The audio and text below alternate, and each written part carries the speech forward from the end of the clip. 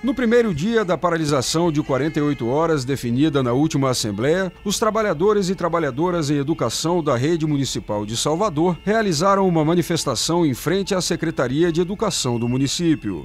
Nós estamos hoje no primeiro dia de paralisação, reivindicando do, do prefeito de Salvador que ele apresente uma nova proposta para os trabalhadores de educação.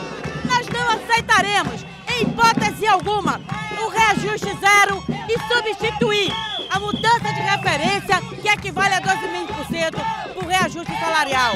Essa é educação que o prefeito Salvador prega para a nossa sociedade é uma ilusão. Porque não só as estruturas das escolas estão em péssimas condições, merenda escolar, assim também como a valorização profissional. Estamos paralisados por 48 horas, justamente porque a prefeitura não cumpre o que é de direito dos trabalhadores. Estamos há dois anos sem aumento. Ele está querendo dar o que ele, a gente já tem direito, que é o aumento, e tirar a isonomia, quer tirar aposentados e renda de ter também o, o aumento deles.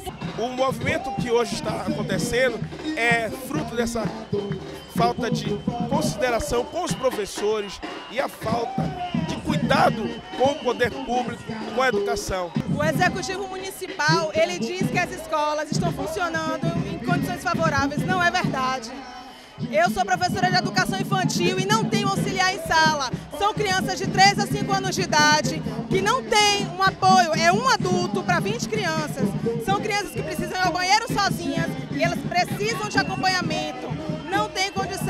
Com música, faixas e cartazes, a categoria protestou por reajuste salarial, melhores condições de trabalho e contra as reformas do governo Temer. Infelizmente, o prefeito Neto está fazendo justamente o que o governo Temer está fazendo. Então tem que ter todo mundo junto, unido, por qualidade da educação, que é o que a gente precisa. Por isso, nós estamos nas ruas, nós estamos aqui nos manifestando e continuaremos na luta com o apoio dos pais e os estudantes, que com certeza estão do nosso lado e também o povo, os trabalhadores, que nossa luta também não é só por reajuste salarial.